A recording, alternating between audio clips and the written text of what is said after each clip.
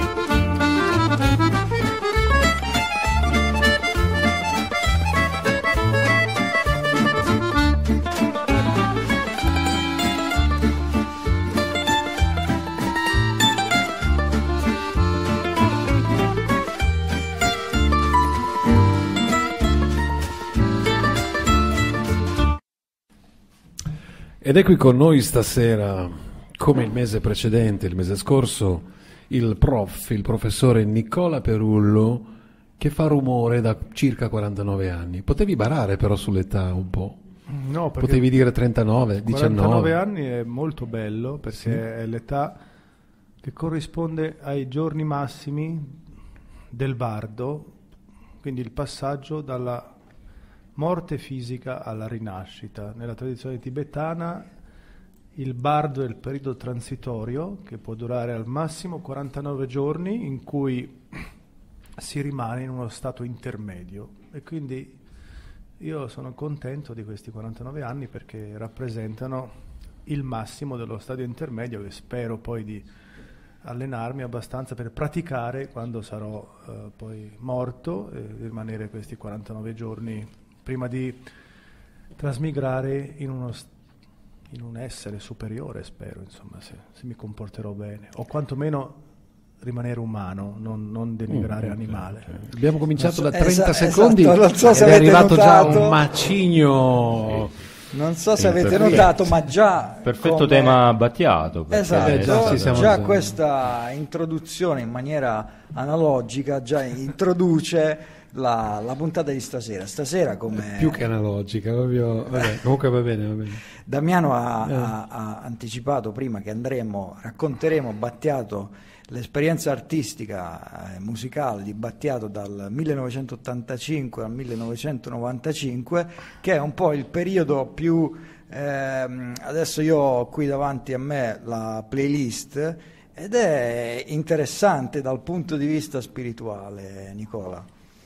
Sì, diciamo che questa eh, puntata è la puntata dove il eh, discorso del, di Battiato che abbiamo visto con la prima puntata per chi l'ha sentita o chi la, la sentirà, essere stato così vario, no? Avendo- aver avuto molti diversi stili, molte ricerche, una ricerca in tante direzioni. Qui la ricerca si radicalizza molto e prende una strada che da un certo punto di vista non è definitiva perché poi la cambierà ancora, ma sicuramente perde alcune caratteristiche, perde la caratteristica del pastiche, dell'ironia, qui non si scherza più sostanzialmente. Oggi diciamo che mh, nei testi e anche nelle musiche di ironia non, ce- non ce n'è molta, nella puntata di oggi e c'è un um, approfondimento, come tu dicevi, del, uh, spirituali- della spiritualità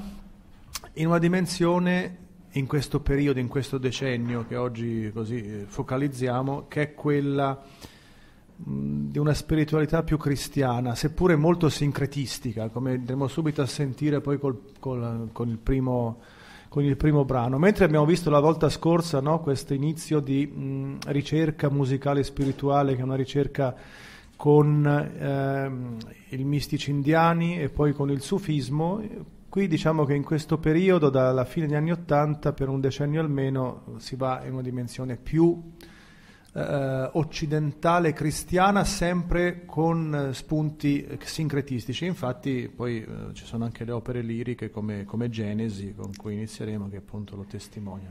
Ecco, prima di mettere, di salire il primo gradino della playlist, della scaletta musicale di stasera, ringraziamo intanto Terracotta Ristorante che ci sta ospitando, salutiamo anche, eh, abbiamo qui davanti a noi un piccolo pubblico che sta ascoltando in diretta di persona la, la, il Podwolf. E, ehm... e speriamo di non disturbarli troppo magari mentre si nutrono. Eh?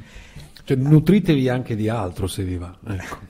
Aggiu- abbiamo, abbiamo, davanti anche due bottiglie di vino che è un punto fisso di ogni nostra sì, sono andato a recuperare il bianco perché era rimasto perché altri Damiano beve solo bianco ma anche voi due eh? sto parlando del stasera no comunque okay. ehm, aggiungerei solo una, un piccolo dettaglio guardando la playlist almeno ad uno di questi brani è necessario, dopo eh, averli ascoltati, secondo me sono necessari almeno 10 minuti di silenzio.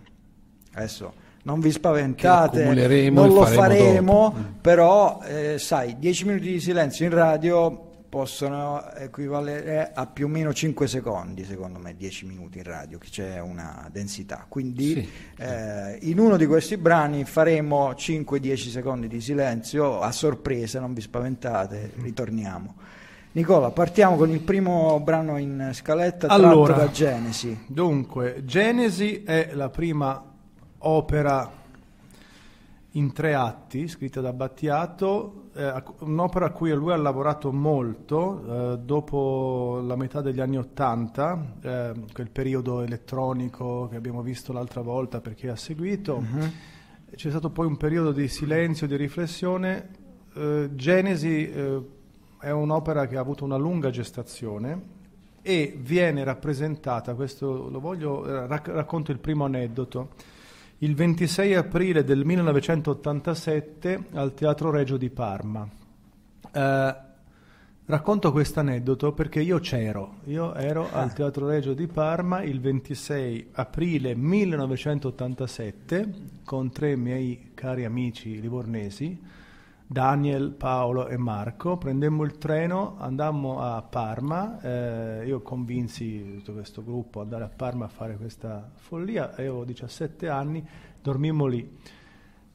Un'opera che oggi sarebbe impensabile da portare sulla scena perché c'erano centinaia di eh, attori, di danzatori sufi, una scenografia estremamente ricca, un'orchestra, quindi una cosa che oggi sarebbe impossibile per i costi, nell'87 e fu una cosa estremamente emozionante. Genesi poi mh, mm, ovviamente non ha avuto uh, una... Uh, io comprai la cassetta, non ha avuto una riproduzione, però è bellissima secondo me ed è appunto il tentativo di raccontare Genesi la genesi del mondo mettendo insieme il cristianesimo e altre religioni. E, um, il testo è stato scritto da Battiato insieme sempre a Enrico Masson, l'allievo di sì. Gurdjieff eh, di cui parlammo, e eh, la voce di molti brani è di Yuri Kamisaska, come questo che andiamo a sentire, che è un piccolo eh, diciamo, uh, brano uh, di pochi, che dura mi pare meno di un minuto, si chiama sì. Prima di me, è già, da, già dall'idea del nuovo Battiato che ascolteremo stasera. Eccolo. Prima di me vivevo già sotto altre forme la densità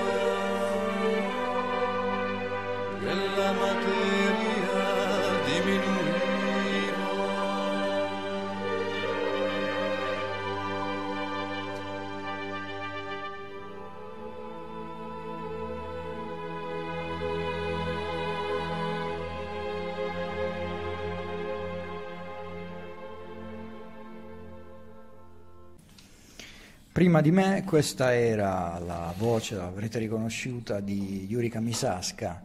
Ehm, Yurika Misaska che mm, fra l'altro in, in questo inizio di, di- di periodo che stiamo raccontando è una, una figura importante nel percorso.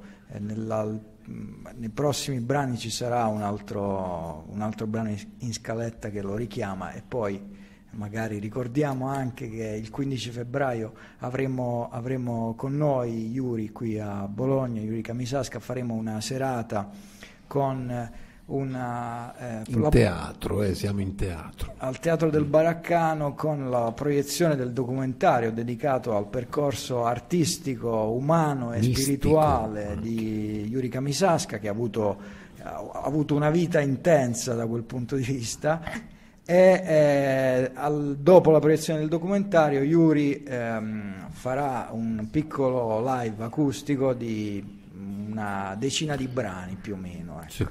Da- fra i, i migliori può darsi che uno dei, dei prossimi brani sia proprio uno di quelli che farà anche Yuri.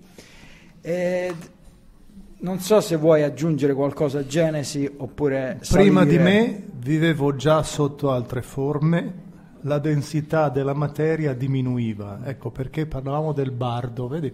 Qui c'è già forte il tema della eh, trasmutazione o trasmigrazione delle anime o eh, la reincarnazione, è una cosa a cui Battiato ha sempre de- detto di credere da moltissimi anni e, e questi temi diventano espliciti. La musica diventa più pulita, viene fuori poi anche negli album successivi l'orchestrazione, eh, proprio la, la classica. Vi ricordate negli ultimi brani era tutto pop, elettronica con pop estremamente ritmato su Sì. batterie sintetiche. Qui adesso tutto cambia e diventa tutto classico. Anche i testi estremamente asciutti ed estremamente diretti e difficili, ma estremamente diretti e puliti senza e quindi prima di me vivevo già sotto altre forme, è chiaro che qua vedete c'è un cristianesimo già mediato da altre religioni, perché c'è questo tema della eh, reincarnazione che è dibattuto nel cristianesimo. Se- se- se- Battiato dice che nella Bibbia si parla di reincarnazione, ma il Papa non sarebbe d'accordo. No, no. Mi Sopra- pare che- Soprattutto quest'ultimo, però... vabbè. Mi pare che eh, su- rispetto ai testi ci siano anche qui delle risonanze rispetto al primo, al primo Battiato. La puntata scorsa abbiamo ascoltato Fetus, i- dai primissimi dischi. Mi pare che i testi richiamino alcune, alcune cose di quel primo periodo E anche Battiato. Yuri Kamisaska nasce molto prima come co- amico e collaboratore di Battiato, non certo nell'87, Certo, ma sì. nel 70. Sì, diciamo hanno fatto il militare insieme a- in Friuli e poi si sono subito conosciuti. E negli anni 70 hanno collaborato già con Sì, alcuni sì, brani. lo dicevamo l'altra volta, esatto. Il eh, prossimo eh, piccolo salto che facciamo riguarda un disco, secondo me, bellissimo tutto, ehm, importante già a partire dalla, dalla copertina. Parliamo di Fisiognomica del 1988, in cui in, in copertina si vede un, eh, c'è una foto di Battiato da, da- da- da adolescente eh, con dietro una- un cielo stellato.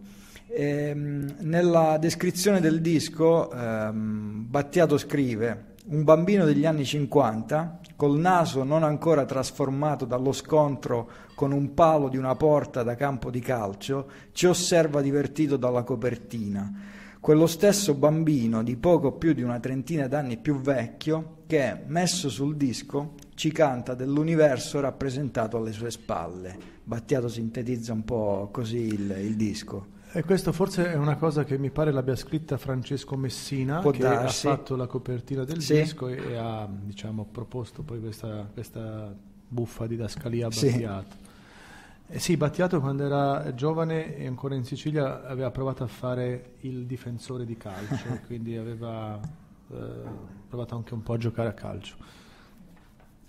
E Fisionomica è un disco che segna veramente un nuovo inizio per Battiato, molto diverso. Genesi chiaramente è stato, ma è un prodotto molto di nicchia, molto poco eh, fruibile. Invece Fisionomica vende oltre 300.000 copie, Battiato torna a vendere molto con questo disco, ha dei brani che sono diventati dei classici come Ti vengo a cercare e come anche questo che andiamo a sentire che è un oceano, l'Oceano di Silenzio, eh, fatto il testo tra Battiato e Fleur eh, Jagui che è la poetessa, scrittrice e anche moglie di Calasso con cui Battiato aveva già collaborato in Patriots. Lo ascoltiamo in eh, stato eh, meditativo e poi dopo ne parliamo.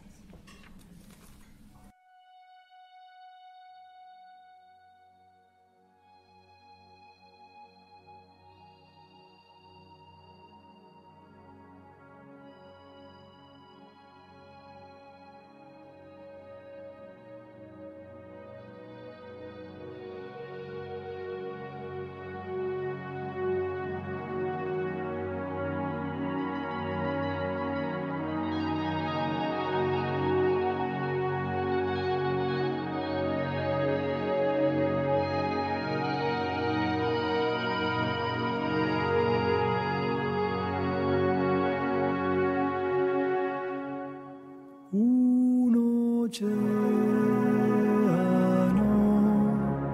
di silenzio scorre lento senza centro né principio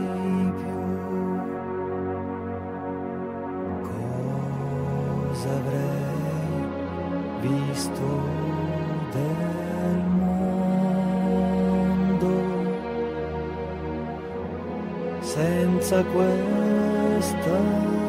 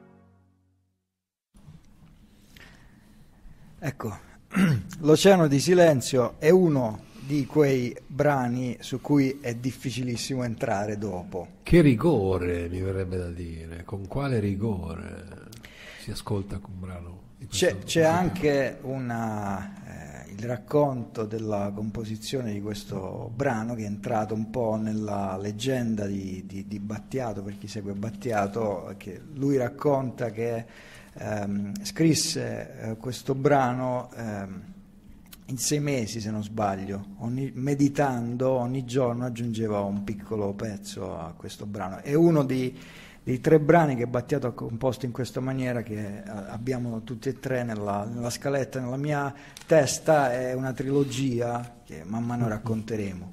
Nicola,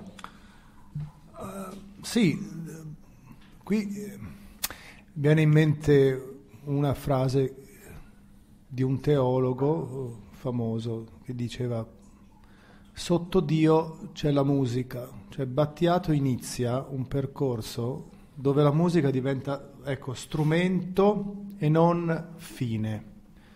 E lo strumento, avevamo già accennato questo tema l'altra volta e anche ne- ci sono anche altre cose precedenti, ma da qui in poi veramente il tema del giudizio estetico di- per lui, almeno come autore, diventa secondario. Non si tratta più di fare qualcosa che ha come fine il suono, ma si tratta di usare il suono e il testo per veicolare, per comunicare dei messaggi che sono di ordine superiore. Proprio l'idea del musicista, eh, del, colui che fa musica come tramite, come qualcosa, poi questo si può naturalmente eh, discutere, si può essere convinti o no da questa posizione, ma questa è la posizione di Battiato che peraltro in questo periodo eh, ha un grande successo con questo disco, come dicevo, ma comincia a essere antipatico a molti, perché quando si prende una direzione così radicale, poi naturalmente si perde una fetta di pubblico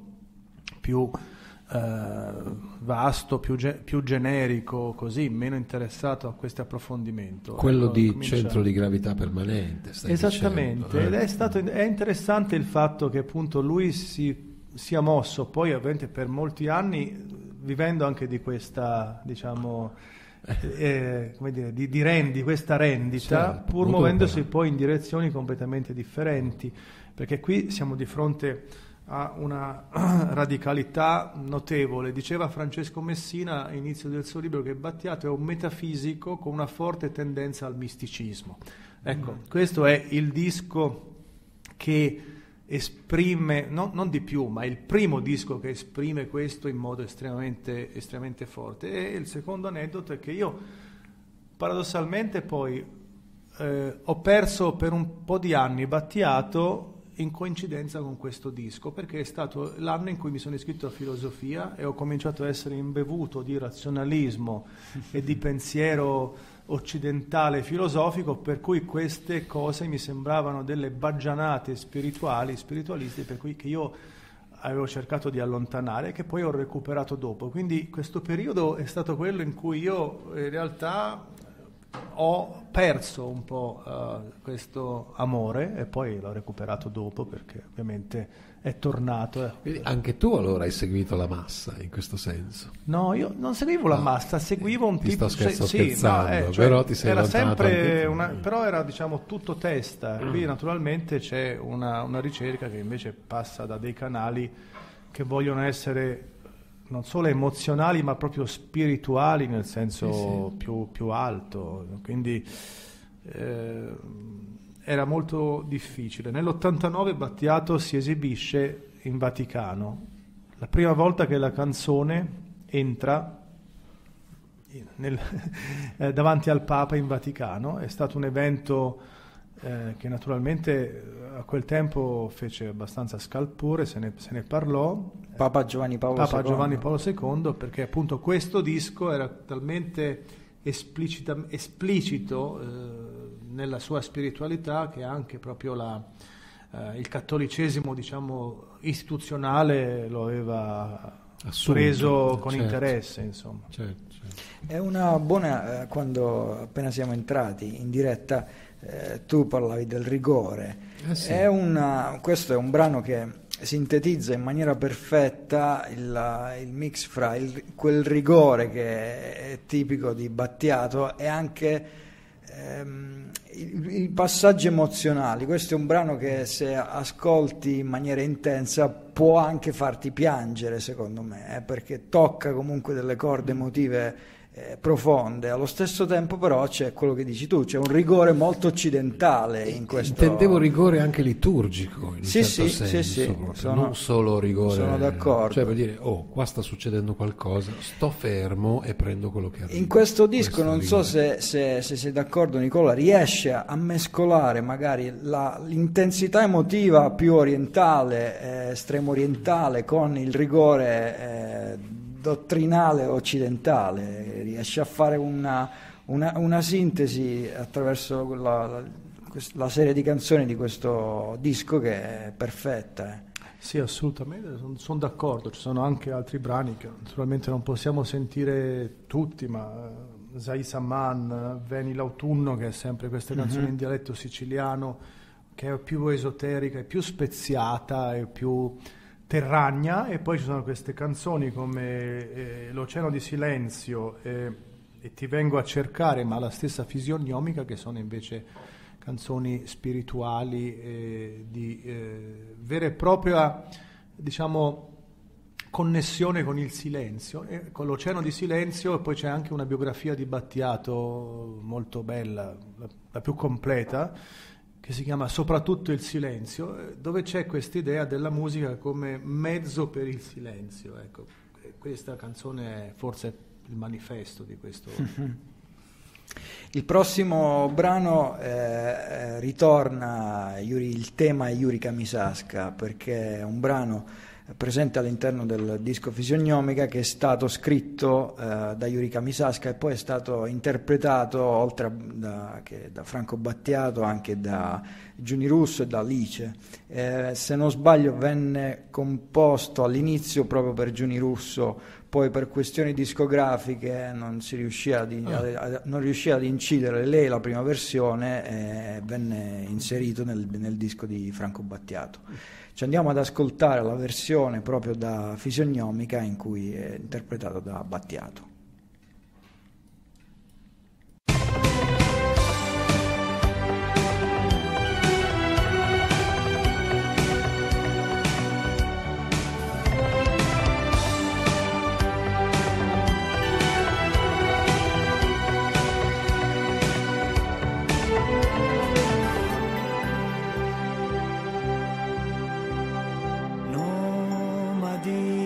Cercano gli angoli della tranquillità. Nelle nebbie del nord e nei tumulti delle civiltà, tra i chiaroscuri e la monotonia dei giorni che passano camminatore che vai cercando la pace al crepuscolo, la troverai.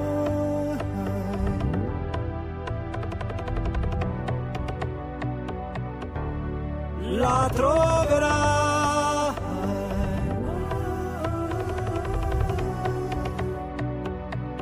Alla fine della strada. lungo il transito dell'apparente dualità. La pioggia di settembre risveglia i vuoti della mia stanza ed i lamenti della solitudine si prolungano come uno straniero non sento legami di sentimento e me ne andrò.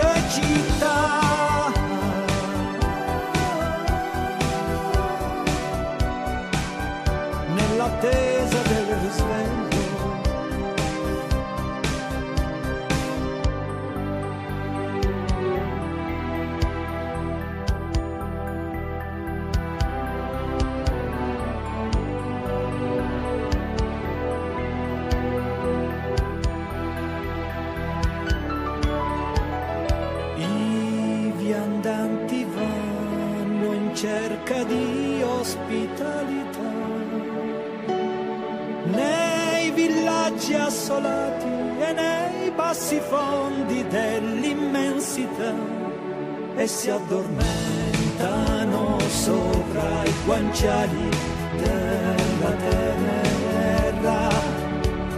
Forestiero che cerchi la dimensione insondabile,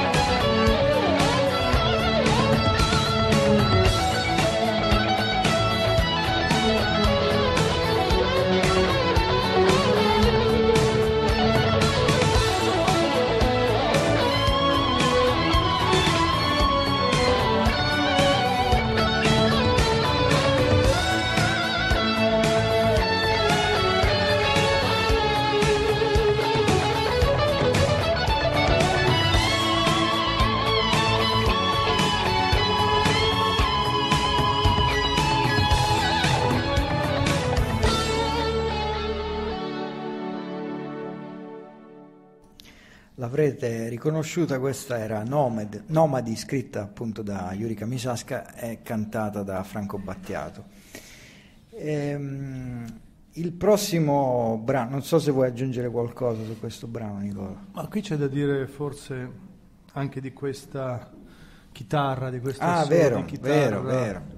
Di Ricky Belloni. no? Ricky Belloni, New Trolls. la- eh, New sì, Trolls. New Trolls, la solo di chitarra finale riconoscibilissimo eh, di Ricky Belloni che è stato, oltre al chitarrista di New Trolls, ha, ha anche, se non sbaglio, eh, fatto anche lui un percorso eh, vicino a- alla musica spirituale, fra virgolette, se non sbaglio ha, ha suonato anche nel, nel primo disco di Claudio Rocchi, Ricky Belloni.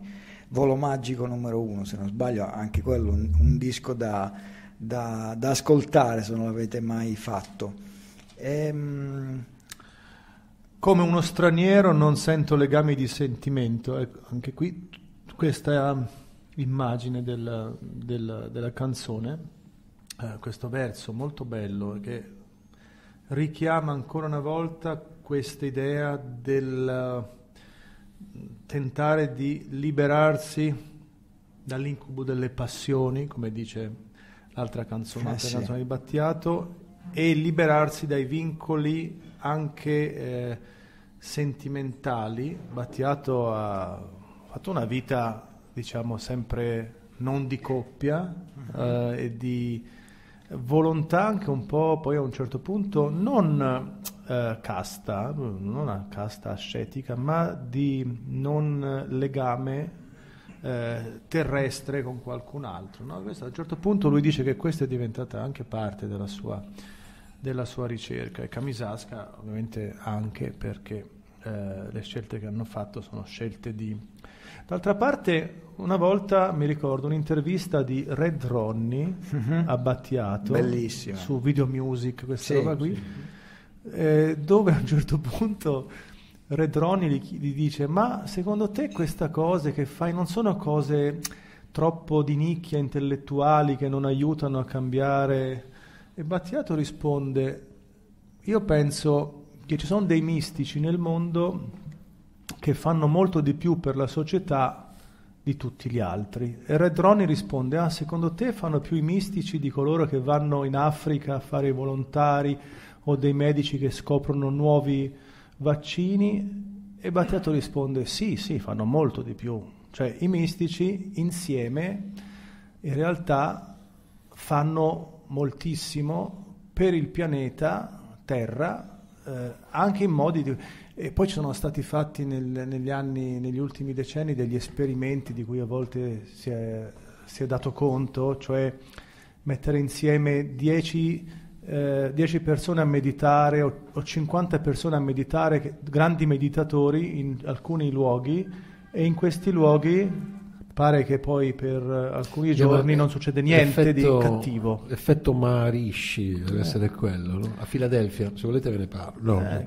Hanno fatto questo No, esperimento di Ci sono stati in vari, va- vari tipi di stupri, esperimenti. stupri, rapine, calavano del 25%. Cioè la meditazione è un fattore di, eh, di, così, come dire, di, di- pace, di pace e di armonia, armonia e di difesa, di salvezza. Ah, certo. Quindi in qualche modo, ecco, l'idea è questa, non è una passiva remissione. Io ho sempre trovato nelle canzoni di Battiato questo aspetto fortemente politico, naturalmente di una politica intesa in questo senso, cioè una politica che ha degli strumenti che sono totalmente non convenzionali e che si possono anche non condividere per carità.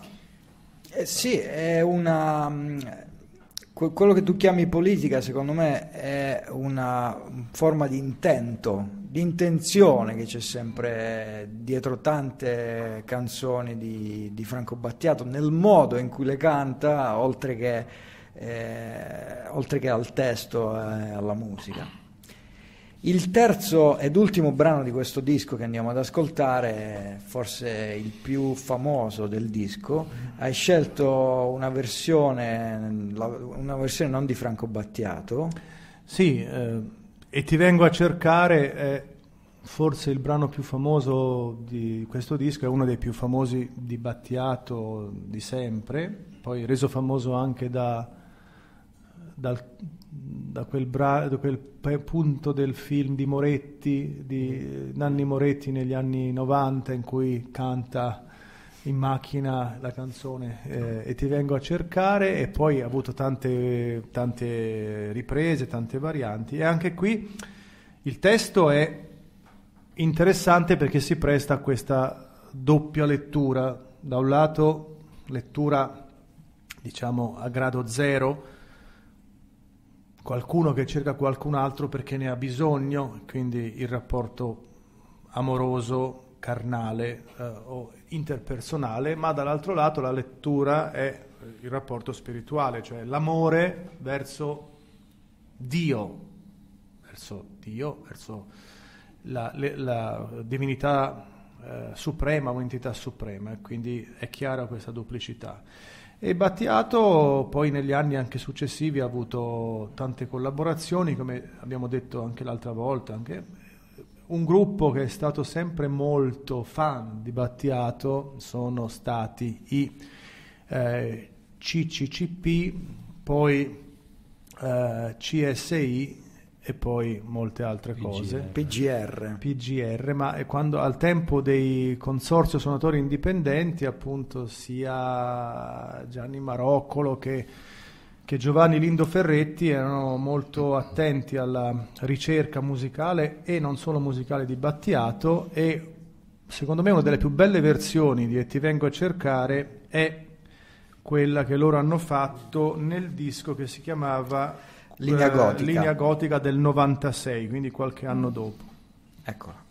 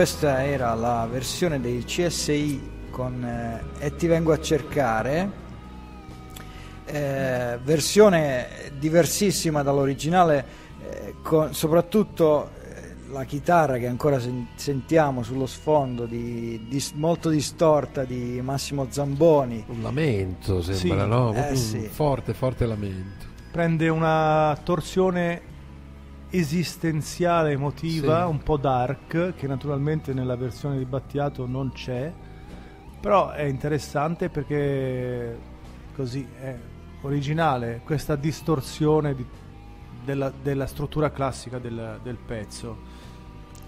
La collaborazione fra, fra Battiato e, e Giovanni Lindo Ferretti e Gianni Maroccolo poi si in realtà continua oltre al percorso dei CCCP e CSI eh, c'è un disco che, che vorrei citare anche se non ascolteremo oggi niente forse la terza puntata chissà però c'è un disco dei PGR in cui ci sono sia non c'è più eh, Zamboni nella, nella formazione però rimangono eh, Gianni Maroccolo Giovanni Lindo Ferretti poi ci saranno anche eh, Giorgio Canali Ginevra Di Marco e Francesco eh, Magnelli e eh, c'è un disco appunto dicevo che si intitola Confusione nove canzoni disidratate da Franco Battiato che è un po' l'apice del percorso dei PGR i PGR hanno fatto se non sbaglio tre dischi di cui il terzo è proprio questo in cui Battiato dice lui Riarrangia tutto. riarrangia tutti i brani e, e tira fuori un disco che è veramente meraviglioso. Se vi capita cercatelo. Confusione è un bellissimo disco ecco Bene, Eh, Battiato in questo periodo si trasferisce definitivamente in Sicilia, eh, nella casa di Milo che abbiamo già più volte citato. E,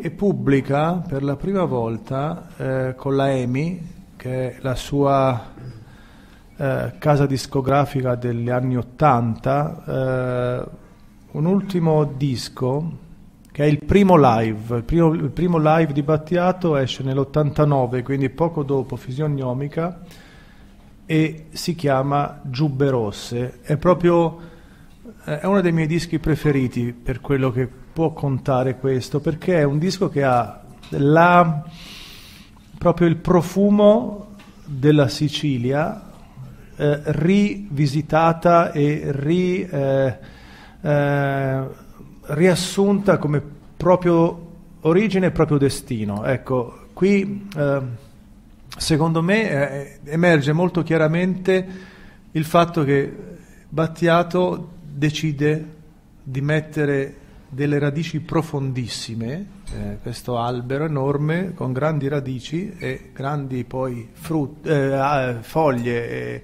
e- e frutti in Sicilia e questo è proprio un disco pieno di canzoni eh, con riferimenti alla, alla Sicilia.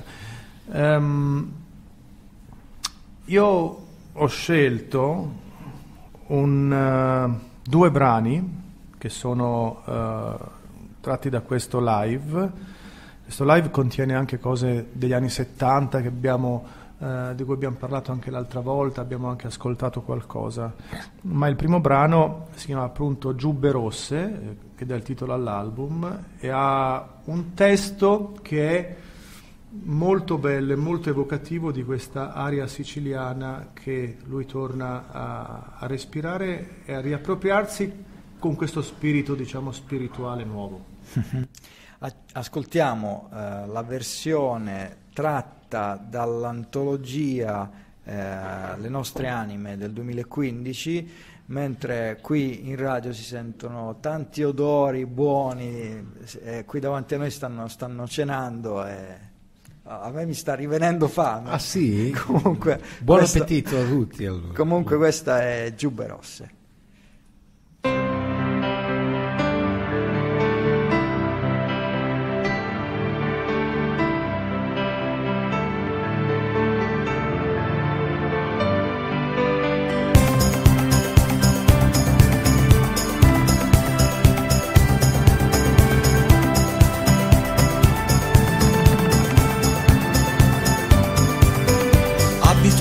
Casa di collina e userò la macchina tre volte al mese. Con duemila lire di benzina scendo giù in paese. Quante lucertole attraversano la strada. Vanno veloci ed io più piano ad evitarle.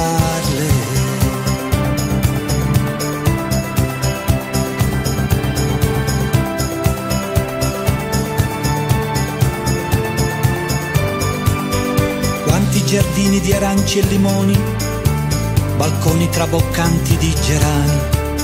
Per Pasqua oppure quando ci si sposa, usiamo per lavarci petali di rose e le lucertole attraversano la strada.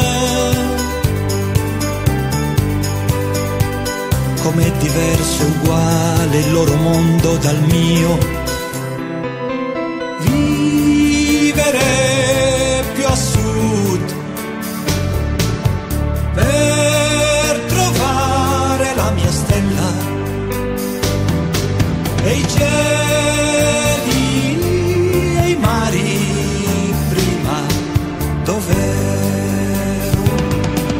passare dal mercato del pesce. Prendere i collari in farmacia per i cani. E ritirare i vetri cattedrale del gazebo. Il fuoco incandescente del vulcano allontano il potere delle giubbe rosse e come sembra tutto disumano. E certi capi all'ore oggi e certe masse. Quanti fantasmi ci attraversano la strada.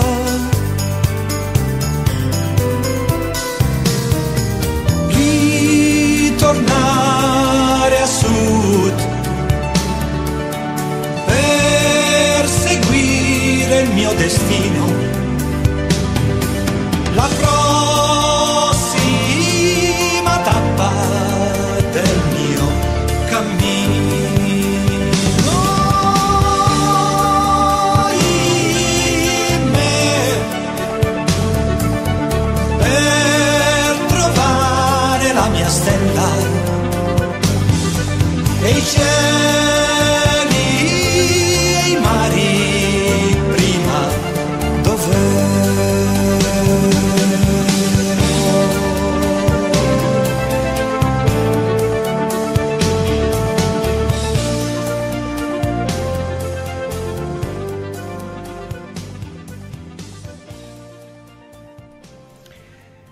Questa era eh, Giubbe Rosse, che dicevi Nicola, in realtà è la stessa versione. Sì, è soltanto rimasterizzata, ma è la stessa versione, che è l'unico brano registrato in studio di questo live. Mhm.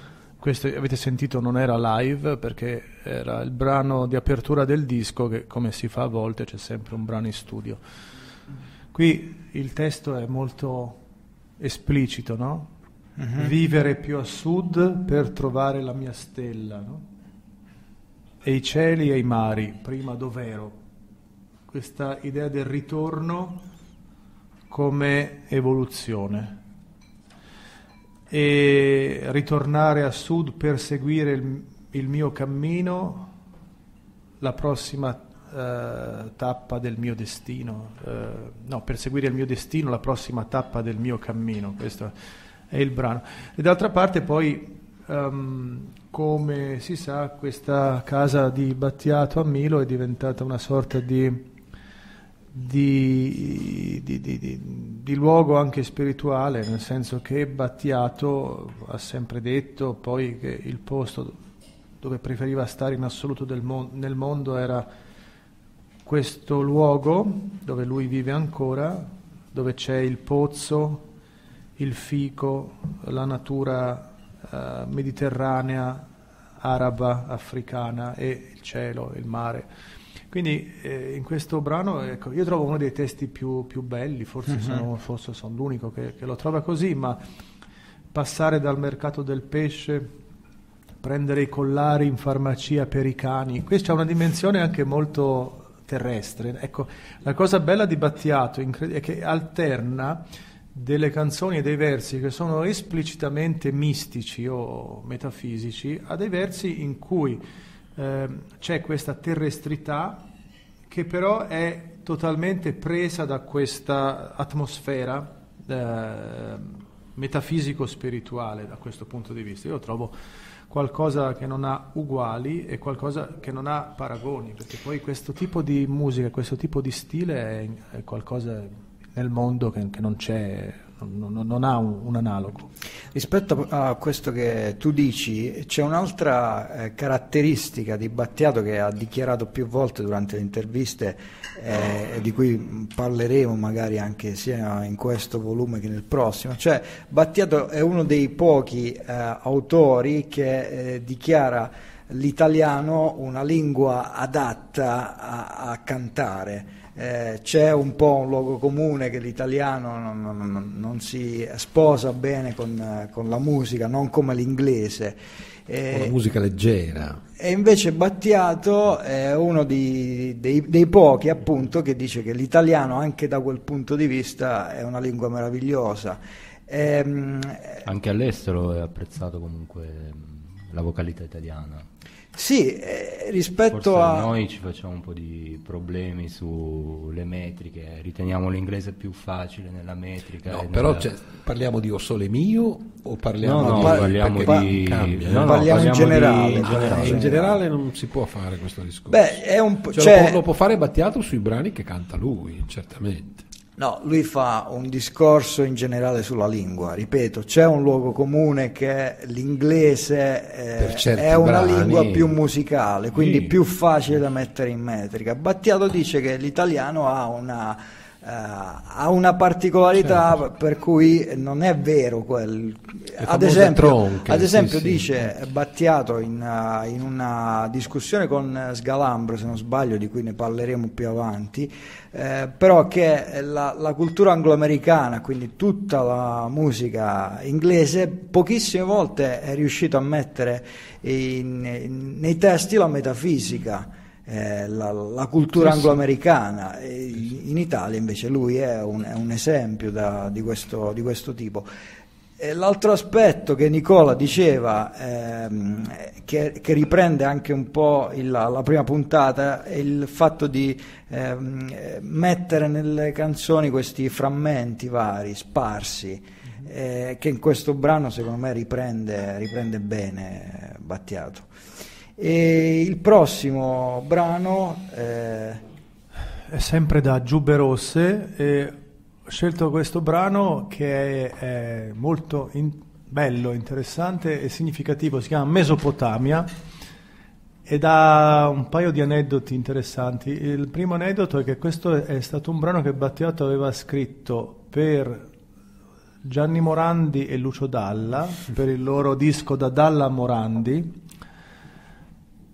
eh, ed è poi eh, lui si è riappropriato di questa canzone, di questo testo, ma c'è anche sotto il titolo Che cosa resterà di me, non Mesopotamia, nel disco da Dalla Morandi, cantato da Morandi, questo testo e la musica anche, ma il testo è un po' diverso perché sentirete il, il brano uh, ora che andiamo a sentire e poi vi dico dove cambia il testo di Dalle Morandi eh, in un punto abbastanza significativo. E qua si parla ecco, della, ecco, vedete qui la, la civiltà e la cultura mh, medio orientali, quindi l'Asia come alito, come vento che poi arriva alla Magna Grecia, alla Sicilia e a tutta questa cultura e a questa spiritualità che si diffonde in modo sincretistico tra Oriente e Occidente, tra l'Asia, i saggi, i grandi dell'Asia e poi i grandi eh, della uh, cultura classica uh, greco e poi latina, uh, europea, insomma siciliana e poi europea.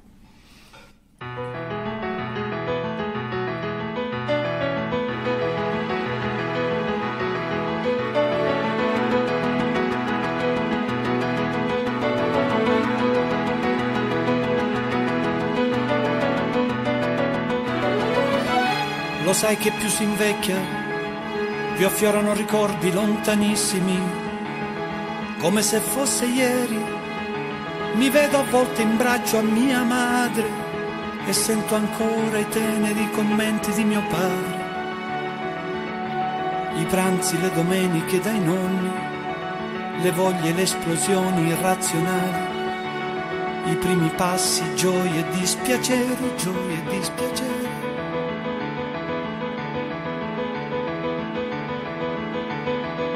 La prima goccia bianca che spavento e che piacere strano è un innamoramento senza senso per legge naturale a quell'età.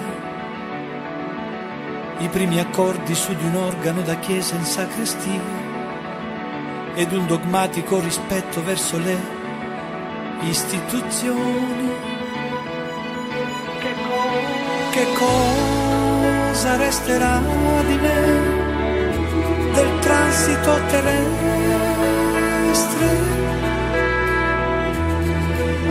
di tutte le impressioni che ho avuto in questa vita.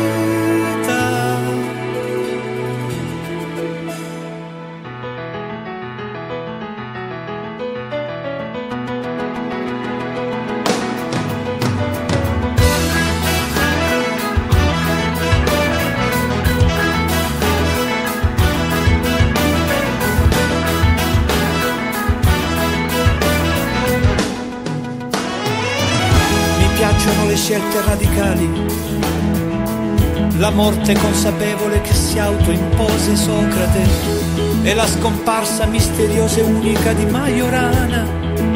La vita cinica ed interessante di Landolfi, opposto ma vicino a un monaco birmano, o la misantropia celeste in benedetti Michelangeli.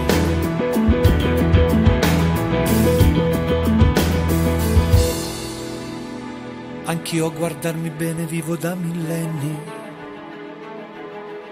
e vengo dritto dalla civiltà più alta dei Sumeri, dall'arte cuneiforme degli scribi e dormo spesso dentro un sacco a pelo perché non voglio perdere i contatti con la terra. La valle tra i due fiumi della Mesopotamia. Che vide alle sue rive Isacco di Ninive.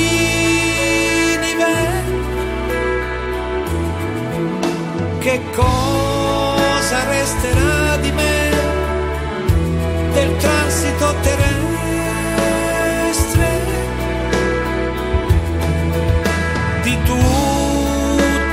impressioni che ho avuto in questa vita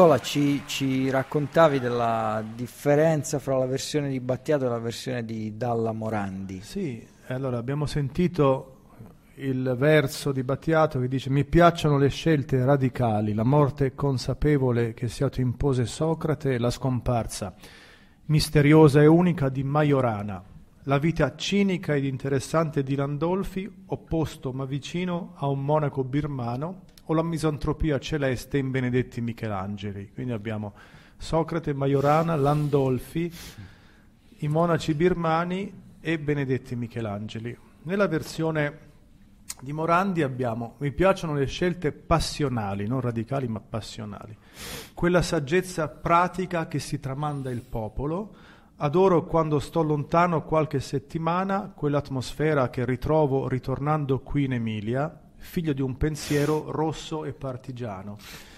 Di recente ho qualche fremito diverso sul creato e poi riprende. Quindi toglie totalmente tutta la parte su Majorana, Socrate, e Benedetti Michelangeli e i monaci birmani e eh, mette invece la parte sull'Emilia Romagna. Questo Sì. è significativo no? della Eh. differenza di sensibilità e anche di, di, insomma, di approccio. Non al- farò battute, salutiamo. No, anche, no, no, battute no, no, no, però- salutiamo Gianni Morandi. Assolutamente, anche per questioni di mercato, voglio dire, sicuramente è stato fatto apposta, no? Eh, Eh, penso proprio eh, di se sì. no gli ascoltatrici o gli ascoltatori di Morandi abitué, eh, Però io trovo questo brano molto bello. Io non lo so, forse ripeto, non voglio dare neanche giù dare giudizi estetici. Ho detto l'altra volta che qui per me è oh, cercare di seguire ehm, la ricerca di un autore così poliedrico e così profondo in, eh, nei suoi diverse rivoli e, e strade. Però io insomma trovo che il testo di questo brano sia straordinario, sia Sì. qualcosa di, di incredibile, di anche apparentemente semplice, cioè mettere insieme Benedetti Michelangeli, Socrate, eh, Landolfi, eh, eccetera, Majorana. strofa, Majorana, eh, strofa, diciamolo. sembra una cosa così che viene come bere un bicchiere d'acqua, ma penso che non sia così semplice. Eh no. Eh, il prossimo brano, eh, cambiamo disco, passiamo a un E disco, qui siamo- disco del 1991 come un cammello in una grondaia.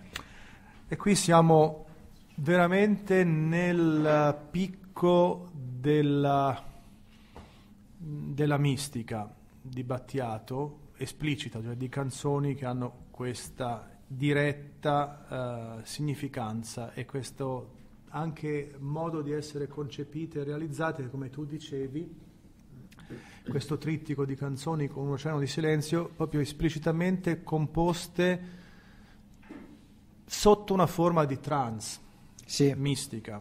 Ecco, eh, come un cammello in una grondaia del 91, tre anni dopo Fisiognomica. Eh, la frase del titolo è una citazione da Al-Biruni, che è un filosofo scienziato persiano vissuto nel XII secolo, e la frase allude alla difficoltà di trovare la verità della scienza. È come un cammello su una grondaia, quindi in una situazione non così comoda. così comoda.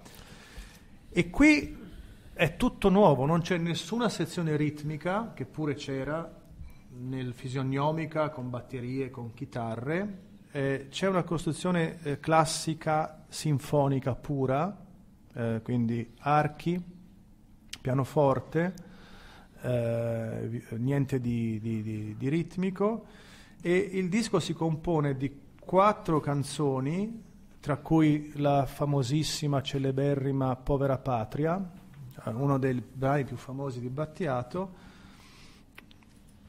altre due che andremo a sentire ora, e poi quattro lead classici, Wagner, Brahms, Beethoven e eh, Martini Soler, quindi nel, nel- nel lato B c'erano questi quattro lead classici, quindi proprio siamo a massimo di top of the pop eh, e commercial, questo disco è forse il disco più eh, difficile del Battiato cantante pop e ha due brani che sono però a detta di molti, ma io condivido due delle vette ar- artistiche di Battiato e anche secondo lui. Uno è appunto eh, le sacre sinfonie del tempo e l'altro è l'ombra della luce.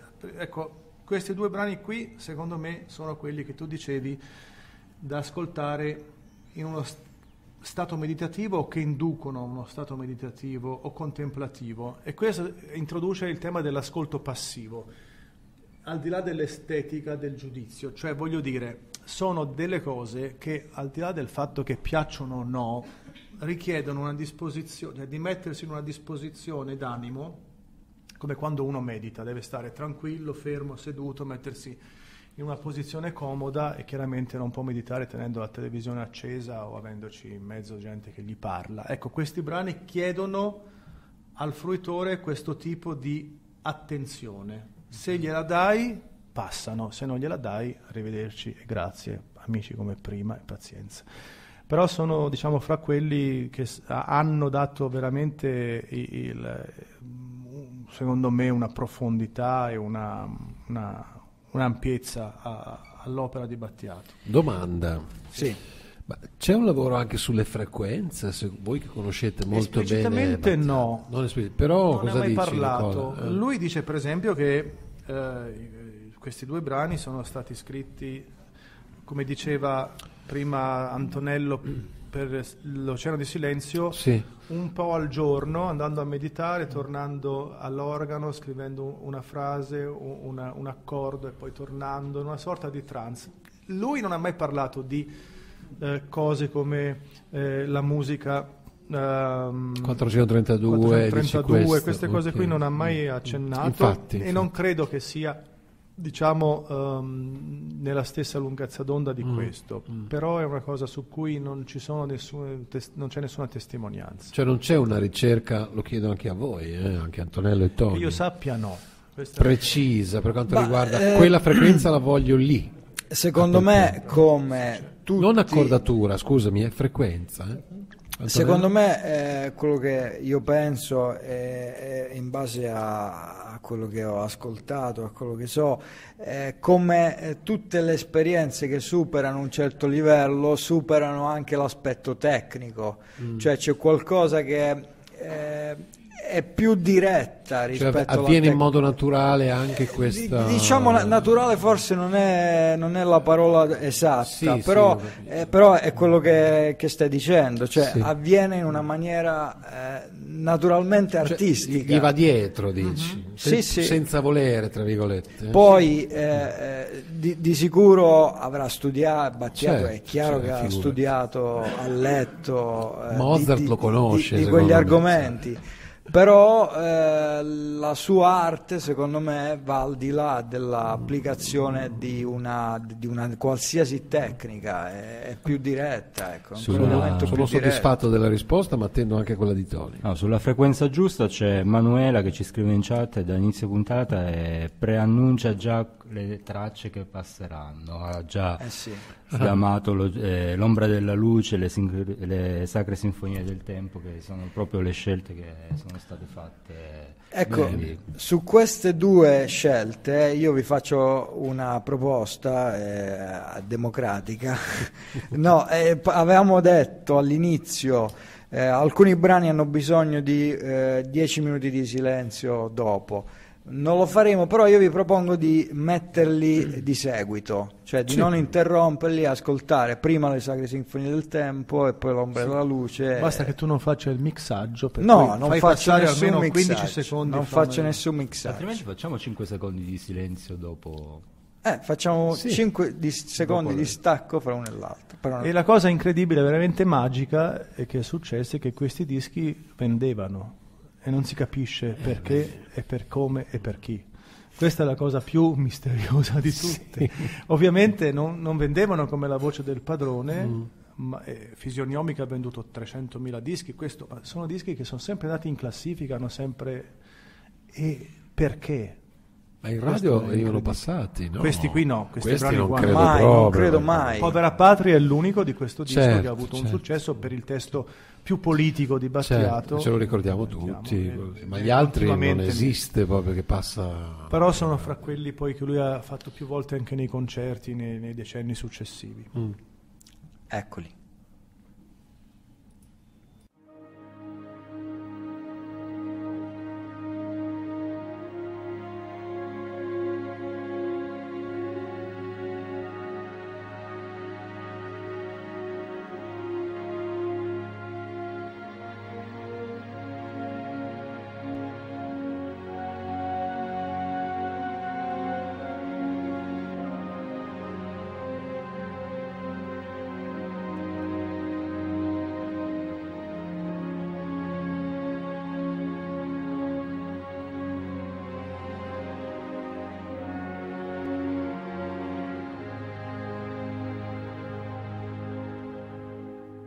Le sento più vicine, le sacre sinfonie del tempo, con una idea che siamo esseri immortali caduti nelle tenebre destinati a errare nei secoli dei secoli fino a completa guarigione.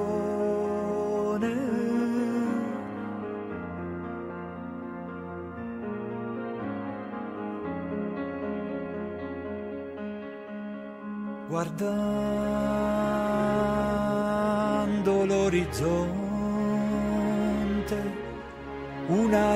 un'aria d'infinito mi commuove,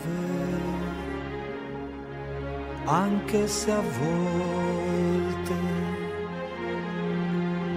le insidie di energie lunari,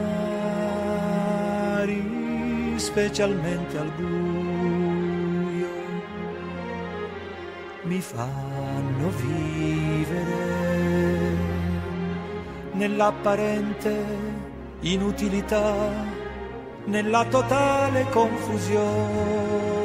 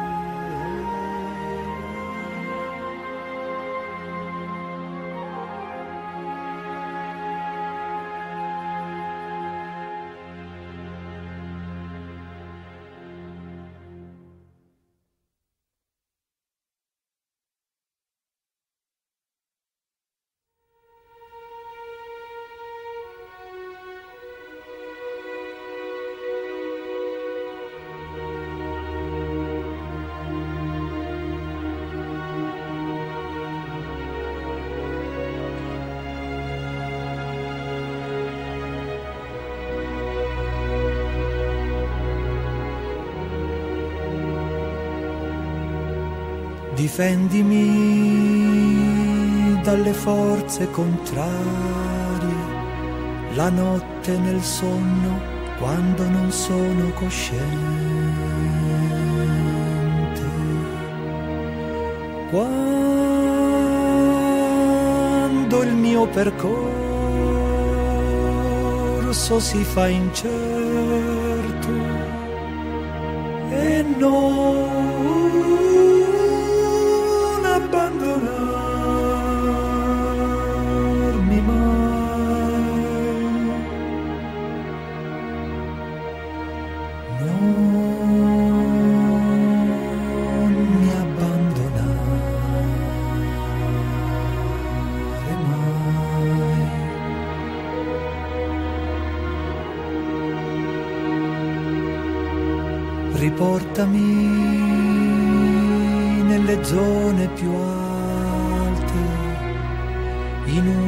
tuoi regni di quiete. È tempo di lasciare questo ciclo di vite e non abbandonarmi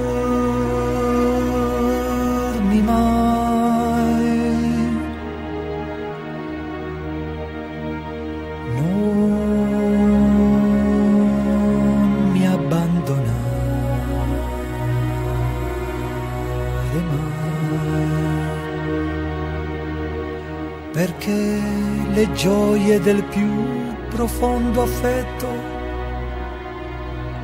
o dei più lievi aneliti del cuore sono solo l'ombra della luce.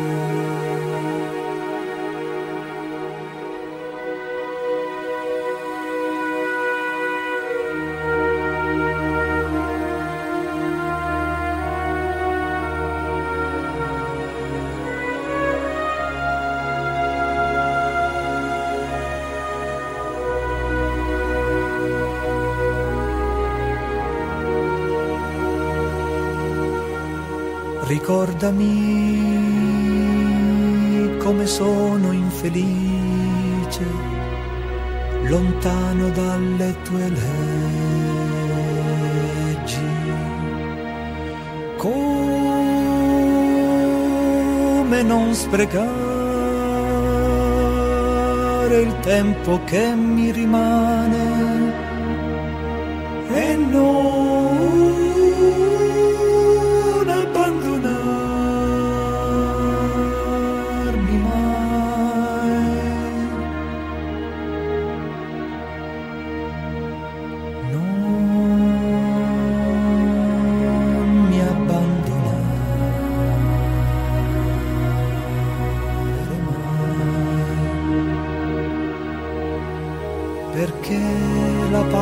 che ho sentito in certi monasteri o la vibrante intesa di tutti i sensi in festa sono solo l'ombra della luce.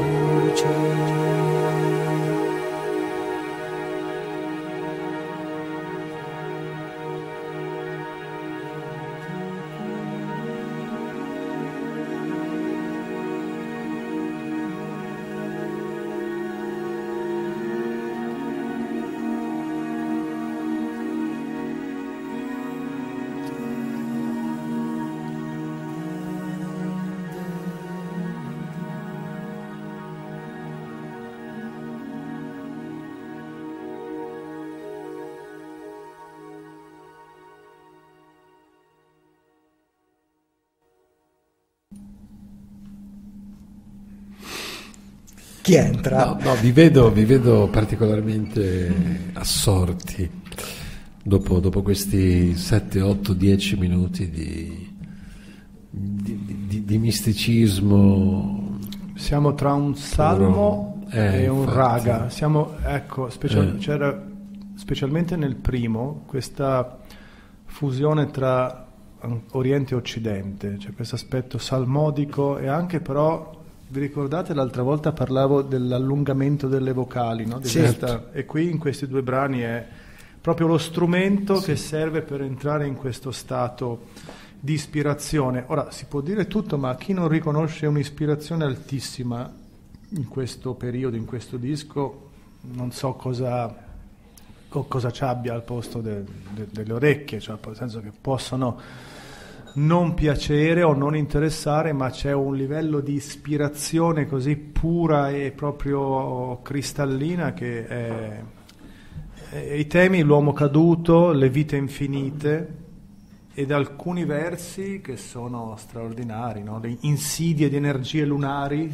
questo aspetto della luna, qui Gurdjieff, no? che la, nu- la luna si nutre eh, della nostra vita di esseri organici, spingendoci nella direzione eh, che ci allontana dal divino e quindi la luna vista come appunto il buio e la ricerca della luce, ma poi la vibrante intesa di tutti i sensi in festa che è solo l'ombra della luce, anche questo è un verso credibile, di grande ispirazione.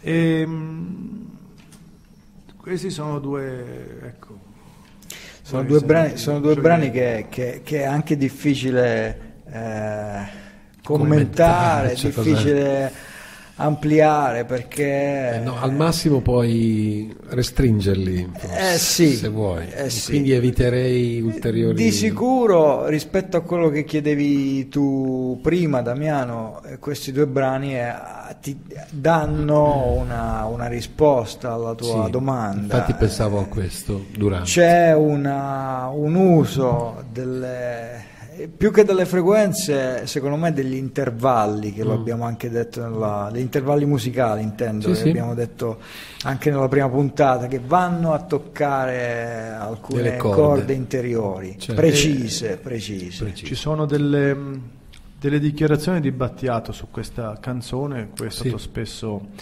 ehm, sollecitato. E lui dice: È una canzone che ho costruito in sei mesi circa, pezzo dopo pezzo, all'interno di una situazione di grande calma compositiva. Voce e armonium procedevano insieme con qualche parola che saltava fuori dall'inconscio, senza fretta. Assaporavo il piacere di ritrovare ogni giorno questo piccolo pezzo che diventava sempre più grande. È stato magnifico. Io ho avuto la fortuna di sentire zone superiori a me e mi sembra già molto. Se un'esperienza mistica, un'estasi alla tua portata è già immensa, figurati cos'è che vi sta sopra. E quello che sta sopra quello, e sopra quello, e sopra quello. L'intenzione è quindi di andare a toccare attraverso la musica quei mondi soprasensibili. Ci sono anche delle musiche che tendono alla purezza del suono, capaci di comporre il silenzio attorno a chi le cerca, musiche molto allineate al mondo che si esplora con la meditazione, una dimensione nella quale i pensieri si allontanano lasciando una sensazione del pensiero. La- il percorso che ha fatto Battiato adesso mentre Nicola parlava e mentre ascoltavamo questi brani è interessante perché da- secondo me da è un percorso comunque unico. Eh, dico questo perché sono nati, eh, nascono, ci sono tantissimi imitatori di Battiato.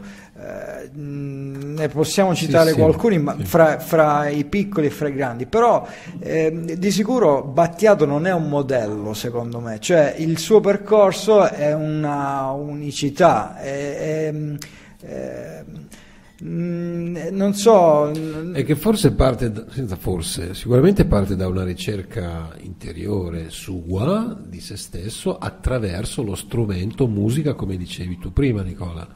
È ovvio che non puoi imitare uno così, ti farai sì. tu la tua ricerca e poi se trovi qualcosa bene, se no ci... Poi i veri maestri sono questi, i veri maestri sono Esatto. quelli che sono inimitabili e che suggeriscono percorsi che poi ognuno sviluppa da solo. I veri maestri non sono quelli che costruiscono scuole, ma sono quelli che fanno dei percorsi Eh. da soli, come sanno tutti quelli che sono andati da veri maestri.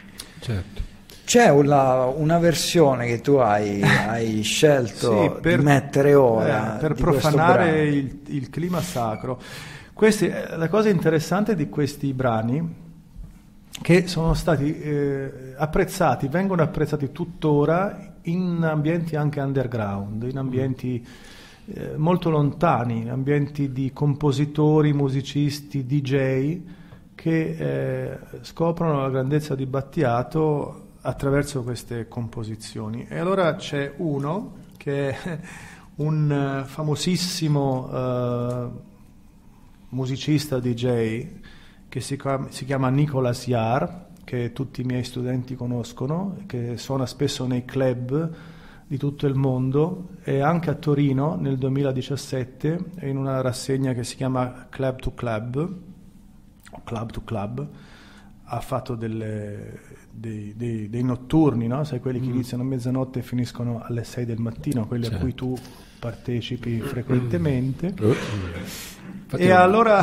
più tardi andrò. Alcuni io non sono andato a questa cosa perché eh, ero stanco quella sera, ma ho scoperto qualche mese dopo che aveva ina- aperto la sua session con l'ombra della luce di Battiato, ovviamente remixata e modificata e distorta ed è molto interessante vedere come eh, inizia, magari possiamo sentire un po' l'inizio e un po' la fine di questo, se non vogliamo sentirlo tutto, Sì. perché è interessante. Eccolo.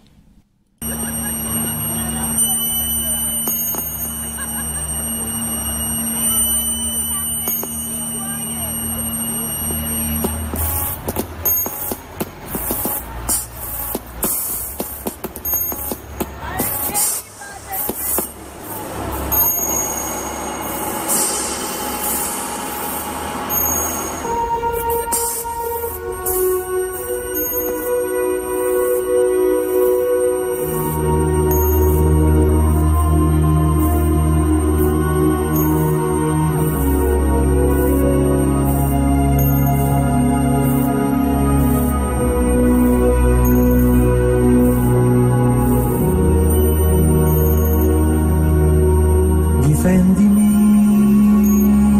dalle forze contrarie.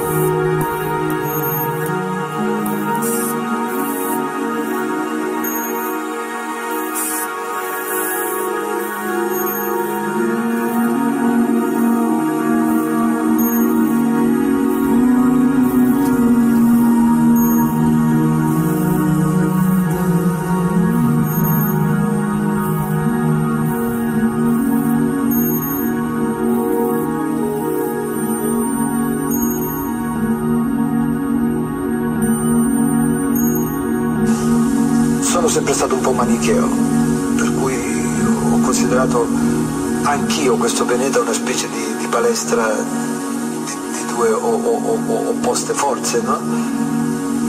Poi le, le zone di confine sono migliaia, difficilmente eh, chiare, ma diciamo in generale eh, noi nasciamo così, il dualismo è la nostra stessa esistenza, eh, ma non lo trovo,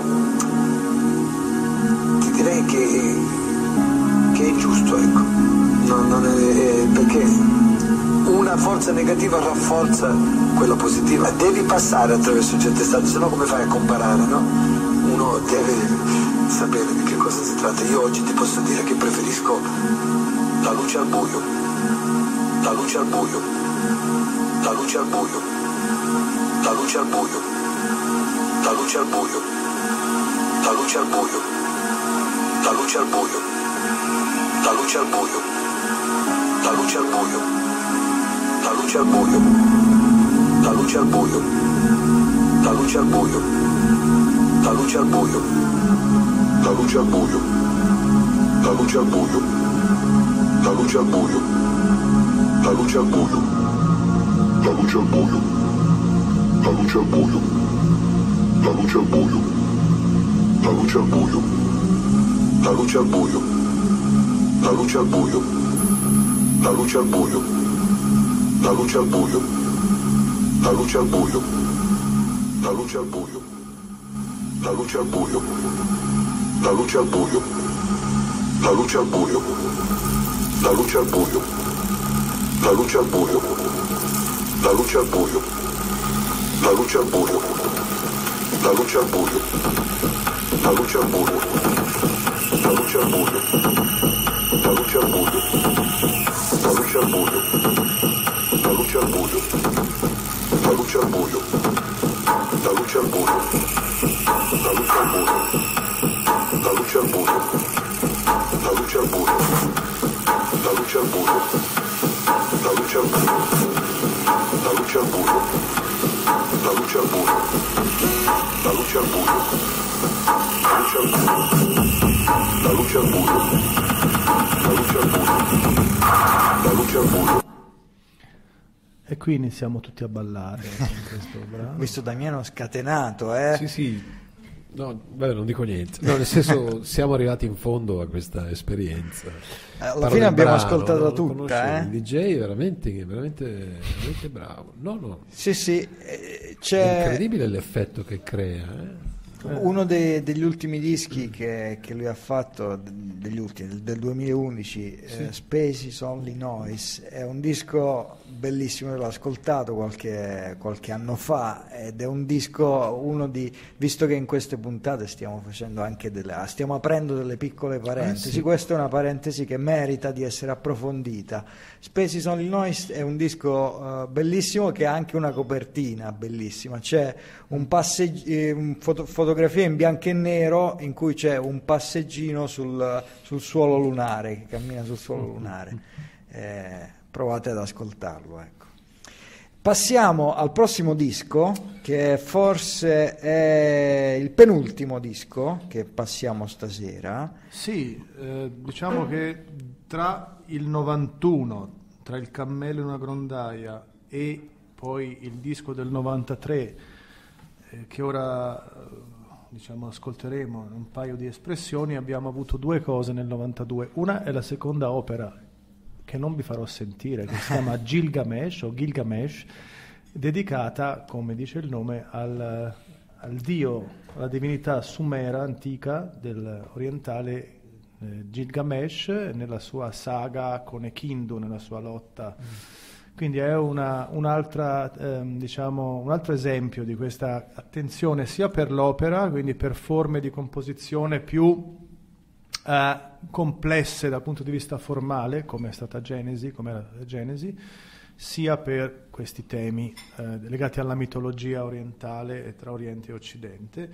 E poi nel 92 a dicembre eh, Battiato appunto va a Baghdad a suonare, a fare un concerto con eh, suonando con l'orchestra nazionale irachena. E questo nel 92 ovviamente tutta una serie di polemiche perché appunto no, eh, tutto l'imperialismo americano che era contrario eh, polemizzò con Battiato perché era andato in- nella tana di Saddam Hussein. Il nemico. il nemico ma Allora era Battiato nemico, lo allora, faceva sì, con eh, senso di grande anche lungimiranza e anche ecumenismo, nel senso che non è che andava ovviamente a, ma andava a, a manifestare una visione eh, oltre queste barriere pretestuose legate al profitto e all'economia. E nel 93 esce Café de la Paix, che è un disco che cambia di nuovo tutto rispetto a- ai due dischi precedenti, perché intanto viene reintegrata la sezione ritmica, batteria, basso, chitarra, tastiere.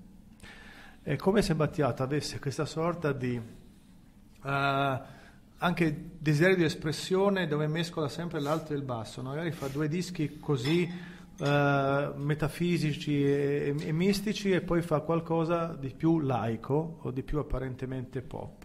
Eh, si avvicina quindi a questo, a- a- cioè, ci sono dei brani anche proprio di world music, de- alcune, alcuni, mm, alcune canzoni che proprio sembrano musica etnica.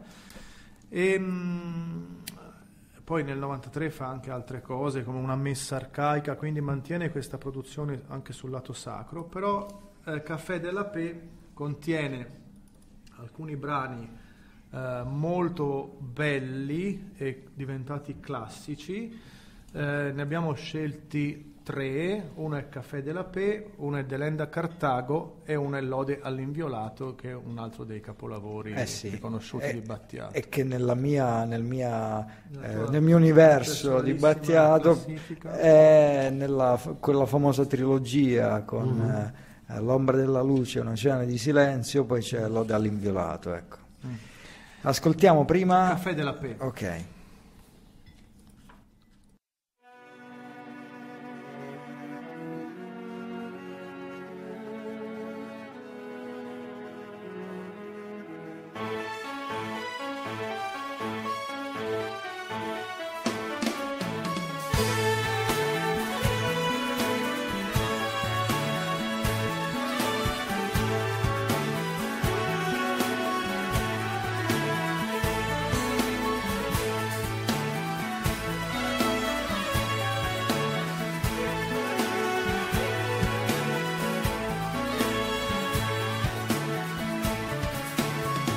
Si risveglia ancora in questo corpo attuale, dopo aver viaggiato dentro il sonno. L'inconscio ci comunica coi sogni, frammenti di verità sepolte. Quando fui donna o prete di campagna, un mercenario, un padre di famiglia,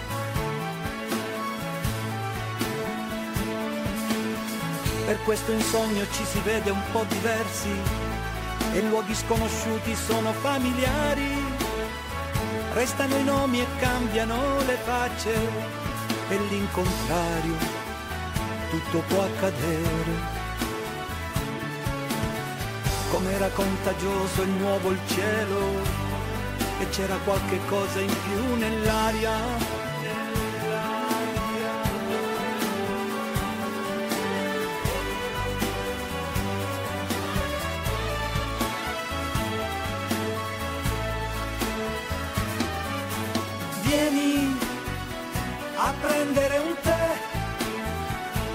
Caffè della Pe.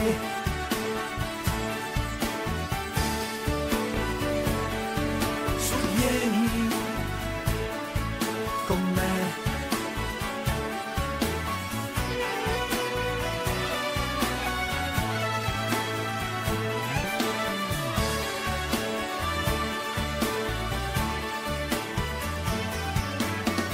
Devo difendermi da insidie velenose e cerco di inseguire il sacro quando dormo, volando indietro in epoche passate, in cortili, in primavera, le sabbie colorate di un deserto, le rive trasparenti dei ruscelli.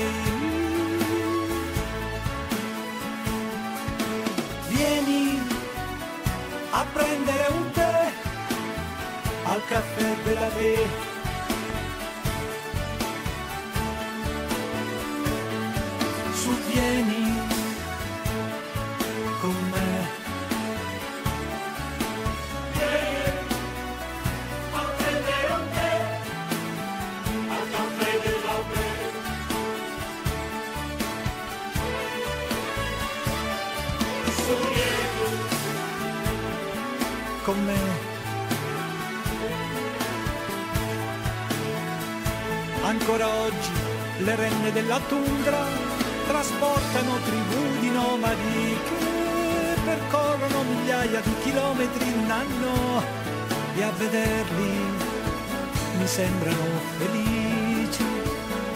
sembrano felici?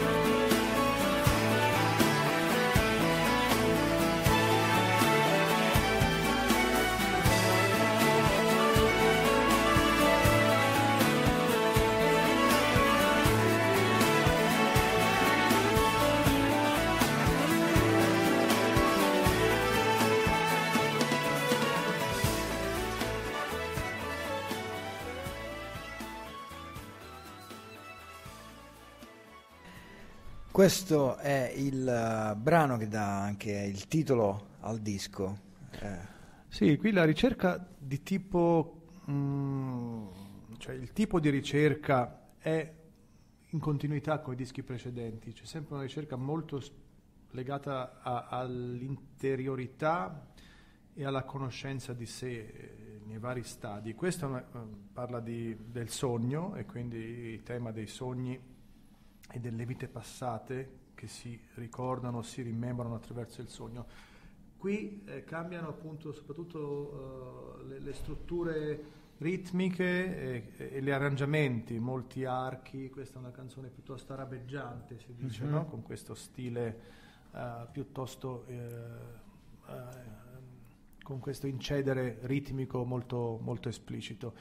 Eh, questo è il periodo del Battiato con la barba, si dice, cioè in questi anni Battiato aveva la barba incolta, piuttosto lunga, eh, sia nel periodo di, eh, del cammello, sia in Caffè della Pe, sia anche quando era andato a Baghdad. Poi se la taglia dopo, due anni dopo se la taglia. Tu Nicola eri ancora nel tuo periodo questo era ancora battiato nel, no? Sì, ero nel periodo ancora della rimozione, Ah, della, ok. de- della rimozione perché stavo studiando eh, questioni di on- distinzioni fra ontologia e epistemologia, fra eh, realtà e finzione, Mhm. anche un esame di logica avevo fatto e di filosofia della scienza e quindi ovviamente queste I- cose iperrazionalismo. erano, sì, sì, sì, beh, ero interessato così, a capire la differenza fra uso e menzione, fra eh, denotatore rigido, vabbè, queste cose qua, insomma, di filosofia del linguaggio. faremo una puntata Sul denotatore su- rigido. sì ci tengo molto Sì, quello certo. è Saul Kripke, è un grande filosofo del linguaggio che aveva inventato questa idea del designatore rigido. vedi cosa Il prossimo brano, eh, sempre tratto dallo stesso disco, è Delenda Cartago. Eh, questo è interessante perché ovviamente è dal titolo, si capisce, parla appunto di Cartagine deve essere distrutta, il famoso monito di Catone e appunto l'espansionismo dell'antica Roma. Come poi anche in questo disco c'è anche un altro brano eh, su questa mitologia, c'è Atlantide, eh, che appunto parla della città di Atlantide. eh, quindi eh, in qua ci sono queste incursioni nella storia tra mito e documentazione reale eh, che servono sempre agli scopi della ricerca di sé. Delenda Cartago.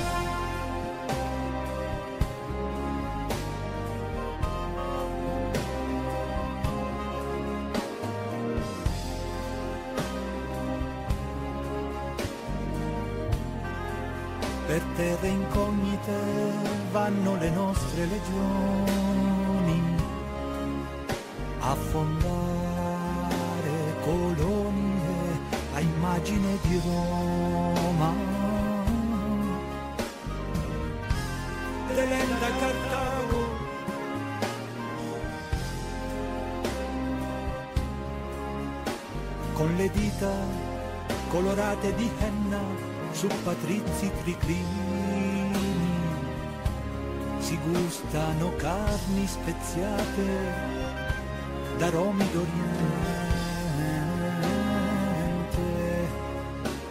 In calici finemente screziati frusciano i le rose e il miele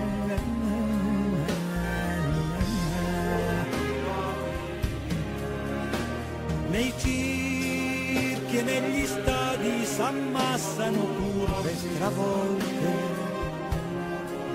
a celebrare riti di sangue. Conferendi specunis ergo sollicite tu causa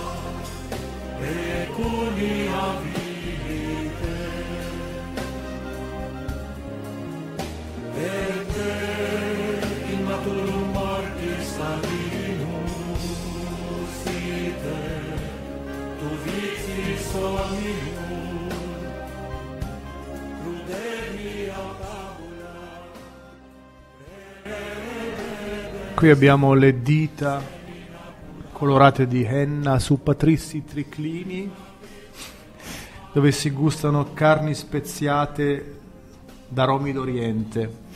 E qui c'è il tema della decadenza no? Del- dell'impero romano e quindi anche la ripresa, il collegamento co- con, la, con la realtà attuale. Insomma, ovviamente Battiato, essendo un, un metafisico con tendenza mistica, vede la realtà attuale come un'epoca, un'epoca di decadenza e di, e di declino. Qui c'è il corno, l'oboe, c'è il latino, c'è il coro, ci sono le citazioni da Tacito, da Catone, da Properzio, eh, insomma è un mix di, di tante cose eh, che hanno questa, questa struttura solenne che trovo interessante. E poi Famo- c'è questo brano Il famoso che- Kali Yuga, no? Il- eh, il Kali Yuga, esattamente, l'epoca, l'epoca buia. E poi c'è questo brano molto noto, molto bello, molto famoso, che si chiama Lode all'inviolato, di cui eh, abbiamo scelto la versione live del 2003 perché secondo me è particolarmente ispirata, particolarmente eh, calda e profonda. Penultimo gradino della scaletta musicale di stasera.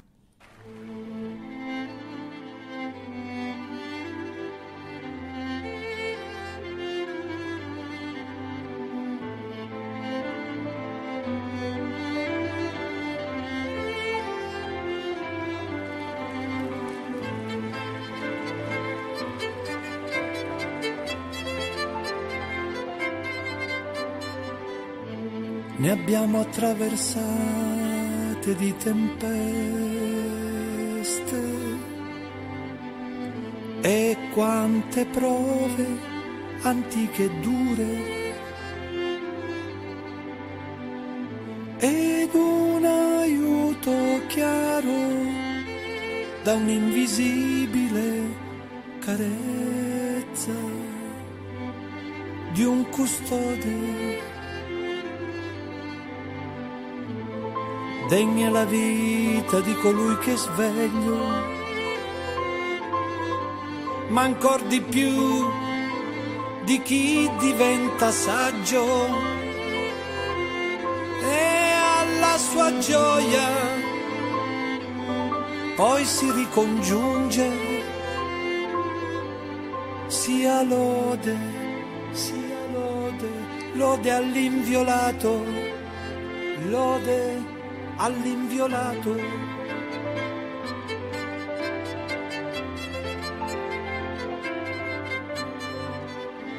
E quanti personaggi inutili ho indossato. Io e la mia persona, quanti ne ha subiti arido è l'inferno, sterile la sua via, quanti miracoli, disegni e ispirazioni, e poi la sofferenza che ti rende cieco. Nelle cadute c'è il perché della sua assenza. Le nuvole non possono annientare il sole e lo sapeva bene. Paganini che il diavolo è mancino è subdolo e suona il violino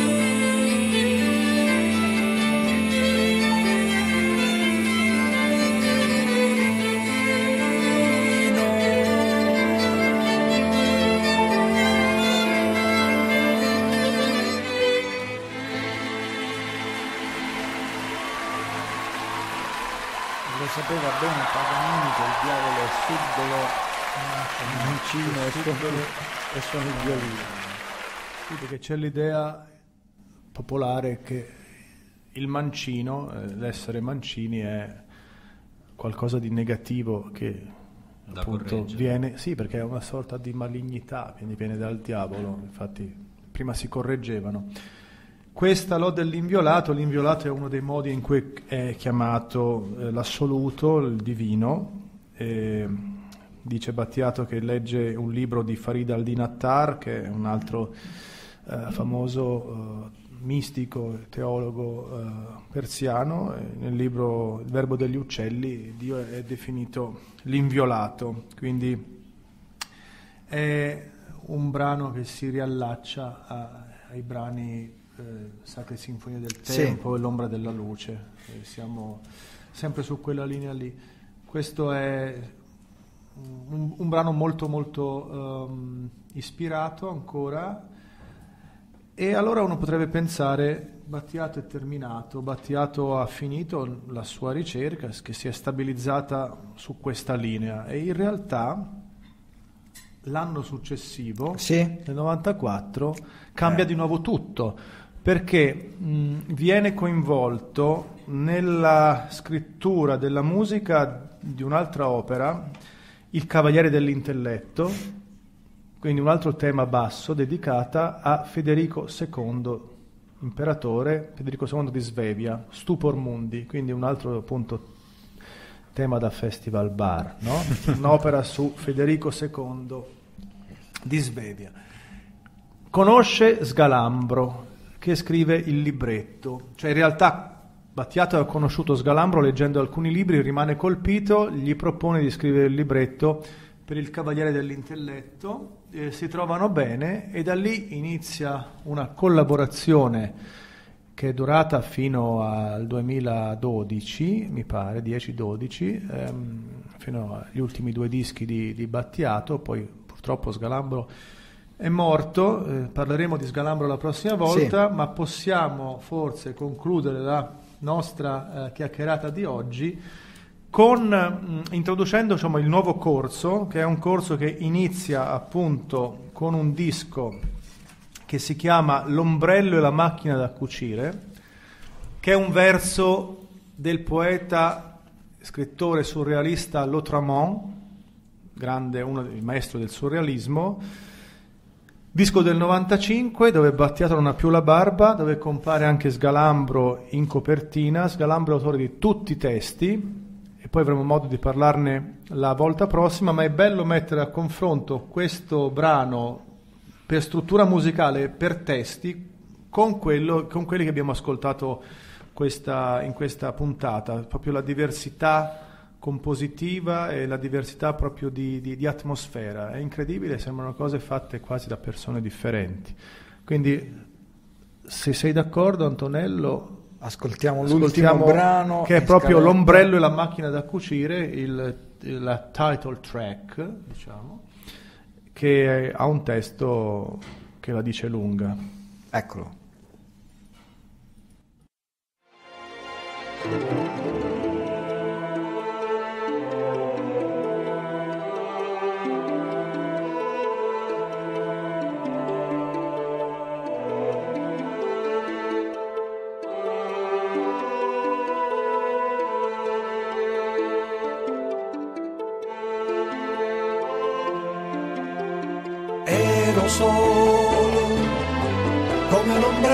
Una macchina da cucire. Dalle pendici dei monti Blei a settentrione ho percorso il cammino arrampicandomi per universi e mondi con atti di pensiero e umori cerebrali. L'abisso non mi chiama, sto sul ciglio, come un cespuglio, quieto come un insetto che si prende il sole. Scendevo lungo il fiume, scrollando le spalle. Che cena infame stasera, che pessimo vino. Chiacchiero col vicino, lei non ha finezza, non sa sopportare l'ebbrezza. Colgo frasi occidentali.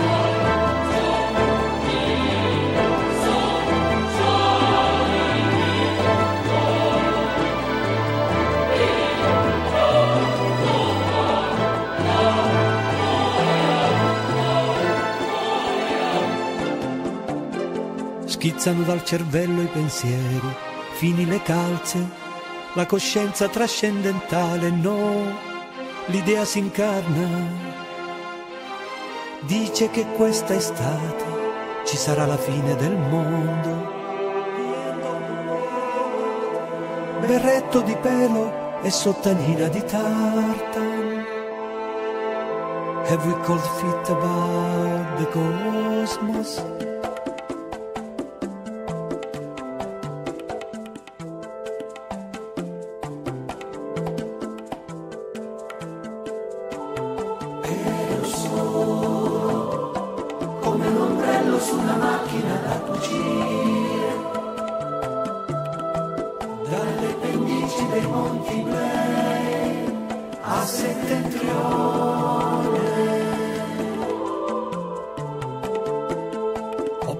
Il cammino arrampicandomi per universi e mondi con atti di pensiero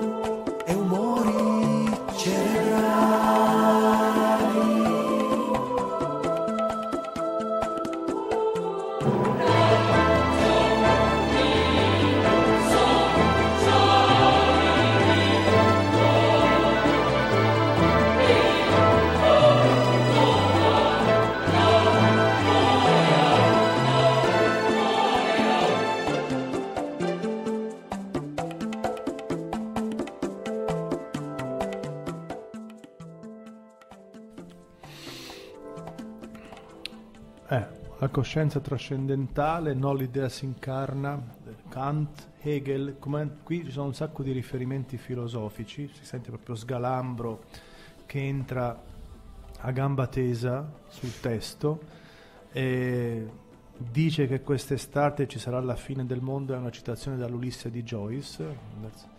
Lei non ha finezza, non sa sopportare l'ebbrezza. Ci sono delle- delle- dei versi in questo testo che sono molto belli, molte citazioni e una sovrapposizione anche ritmica molto interessante. Questo è un disco, ecco, che secondo alcuni è bellissimo, eh, altri invece lo trovano molto, fre- molto freddo, molto intellettuale, e poi magari ne parliamo nella terza puntata, però veramente è molto diverso da quanto abbiamo sentito stasera sotto diversi aspetti. Ecco, questo assaggio è l'aggancio per la terza puntata, terza ed ultima puntata su Franco Battiato insieme a Nicola Perullo. Pare, a meno che poi non se ne faccia. eh, che and- andremo quindi dal 1995 ad oggi, ehm, puntata che ci sarà a marzo, possiamo dirlo. A marzo direi di sì. Marzo possiamo Comunque, dirlo. ecco, quindi Il possiamo gio- dire forse anche la prima decade di marzo. Eh. Circa, dai, come circa. gli oroscopi. Ok, Esatto. prima decade di marzo eh, ci sarà il volume 3 eh, dedicato a Franco Battiato e partiremo proprio da, da Sgalambro. Eh, ricordiamo anche brevemente i prossimi appuntamenti del Lupo il Contadino. Avremo eh, mercoledì parte Radio Cappuccetto Rosso, che è questo... Veramente sarebbe giovedì Giovedì, mattina, eh, lo so, che- non ho ancora finito il vino. Allora, Giovedì, giovedì mattina alle Giovedì 9. mattina alle 9 parte Radio Cappuccetto Rosso, che è un progetto che abbiamo iniziato con Igor Sibaldi. eh, abbiamo mh, deciso di, di fare una piccola cosa, cioè cercare di fondare una nuova religione, non religione. Non religione, esatto. Eh, in 42 puntate. in 42 una puntate. settimana. Mi sembra una- un numero giusto per fondare una nuova non religione, 42 a- puntate. Con Igor saremo anche sabato, Sabato sera. Parleremo un podwolf dedicato a Battisti, Battistimo Mogol. Periodo Battisti Mogol. Esatto. Eh, in località segreta. Possiamo dire la città però, tanto Treviso. L- il però- pa- L'Italia possiamo dire, in Europa, Italia, Europa, in sì. Europa. E per rimanere su Battiato e chiudere, eh, vi ricordiamo che il 15 febbraio avremo con noi a Bologna Yurika Misasca che farà una, mm, presenterà il, il documentario al- al- a lui dedicato in cui, che racconta il suo percorso artistico, eh, mistico, spirituale. Che E- si chiama Non cercarti fuori. Ecco, non cercarti Diciamolo fuori. anche, sì. E il, eh, dopo la, la proiezione del documentario, eh, Yuri mm, farà un eh, live di mm, più o meno 10 brani acustici, fra cui eh, ci sarà di sicuro Nomadi, questo lo possiamo dire. Il Sicuramente, resto, il sì. resto è segretissimo, però Nomadi Al ci sarà. telefono ce l'ha detto, sì. Ma dove si prendono i biglietti I per biglietti al Teatro prendono- del Baraccano venerdì 15 febbraio? Se andate sul sito www.lupoecontadino.it E diciamolo cercate su eventi, trovate Yuri Kamisasca e lì trovate tutte le istruzioni. Abbiamo detto tutto? Direi di sì. Tony, volevi aggiungere qualcosa? Come stai? No. Tutto bene? Ok. Nicola, grazie ancora. È stato Grazie, buonanotte. Un onore sempre averti No, no, Grazie, Nicola. È un onore per me. Un è, è- è uno dei nostri, lo dico senza, de- dei nostri autori preferiti del Sì. E Contadino, Nicola Sì. Perullo. Confermo. Ehm, Ringraziamo ovviamente Alessandro Annalisa, il Terracotta. Grazie ristorante. ragazzi e grazie anche a tutti quelli che ci hanno scritto in chat vari messaggi che dopo eh, leggeremo, ad esempio l'ultimo Roberto Russo ci scrive questo programma radiofonico fa bene alla mente e al cuore, direi che è una buona Sì, sì, ci siamo. chiusura. ci siamo. Grazie anche a tutti eh, quelli che ci hanno ascoltato qui da- in diretta di persona, cenando e bevendo alla fa- no, non alla faccia nostra. Io ho sentito anche qualche ruttino, ti devo dire Ah, la sì. verità, proprio così nel... Grazie che concilia con lo spirituale della, della puntata di stasera. No, mi vengono in mente una aggiungere- serie di battute che non farò, Ok, non rovinare lo tutto. stesso. No, no, assolutamente. Chiudiamo con una. Volevo leggervi un piccolo estratto da un frammento del libro di Maglio Scalambro, eh, Teoria della canzone, libro che è uscito nel 1997, quindi in piena collaborazione con, con Battiato. Il frammento numero 46, lo leggo perché richiama un po' la, la tua famosa domanda, si intitola Precisazione e dice così: L'ascolto non avviene a livello di orecchie ben pulite per, l'occasio- per l'occasione, ma i devoti ascoltano con tutto ciò che hanno, compresi i genitali.